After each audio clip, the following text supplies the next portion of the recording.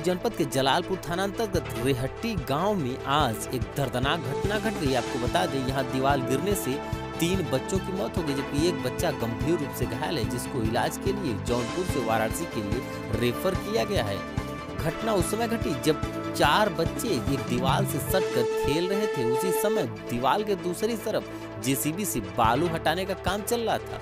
बालू हटाते समय जेसीबी दीवार से टकरा गई और दीवार भरभरा कर गिर गई, जिससे वहाँ खेल रहे बच्चे उसमें दब गए, जिससे तीन बच्चों की मौत हुई और एक बच्चा गंभीर रूप से घायल हो गया। सूचना मिलते ही एसडीएम समेत पुलिस बल वहाँ मौके पर पहुँची और जाँच पड़ताल में जुट गई। जौनपुर से पीपीसी रिपोर्टर कृपा शंकर यादव की ये रिपोर्ट।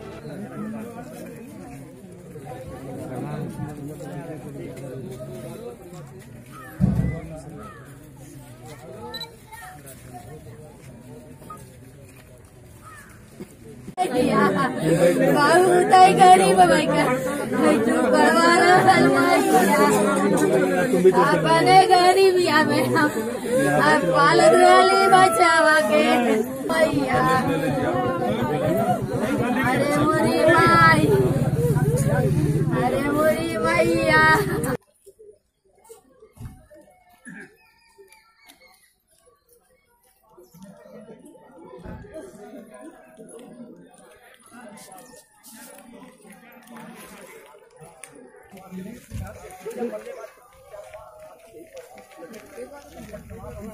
मैया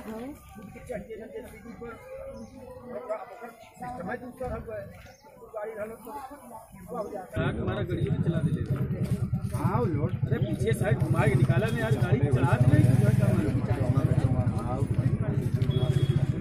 तेल गाड़ी की चढ़ा क्यों लेके भागा? तो उसने देखा हालत खराब है हाँ हाँ, नहीं इस तरफ़ वहाँ पे खड़ा यहाँ से उठा रहा था। वहाँ से उठ उठ रहे थे नहीं नहीं उधर ही बालू डाल रहा था। उधर से बालू उठा के इधर कर रहा था। इधर से जब गिरा है उसने अपना आप लड़के जब चले गाड़ी घुमा के चढ़ा चढ़ा के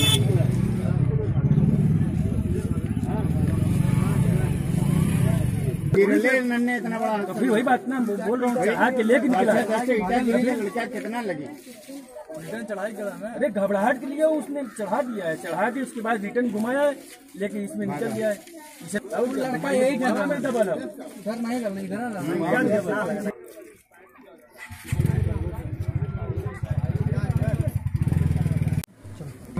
हमें कुछ नहीं मालूम। मैं तो दुकान पे था। उनको फ़ोन गया। मेरा लड़का एक्सीडेंट हो गया। हम्म? मैं गया वहाँ मेरा लड़का खत्म हो गया।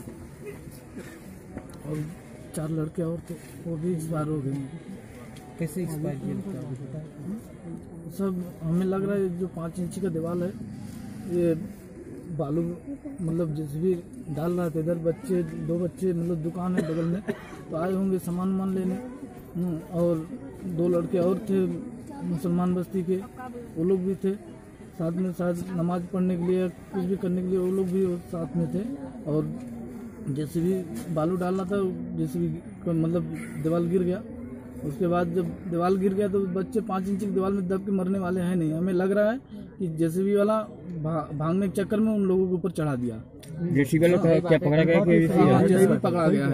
है? हाँ, पाँच इंची की दीवार में लड़के दबकर नहीं मरेंगे। वो भागने के चक्कर में साला चढ़ा दिया। है क्या नाम है? अनिल कुमार राजभर। क्या नाम बेटे का आयुष राजभर। जानकारी हुई कि एक दीवार गिरने से चार बच्चे दब गए थे जिसमें एक की मृत्यु तत्काल हो गई थी मौके पे। बाकी अभी सूचना मिल रही है कि दो और बच्चों की डेथ हो गई है। कुल चार में से तीन की डेथ बताई जा रही है। और यहाँ मौके पे जो पोजीशन है ये बालू गिरा हुआ था और बालू को जेसीबी से हटवाया जा रहा था। और शायद दीवार पे बहुत ज़्यादा लोड पड़ गया होगा और बच्चे बगल में होंगे दीवार गिर गई है उनके ऊपर ऐसी ही घटना हुई है।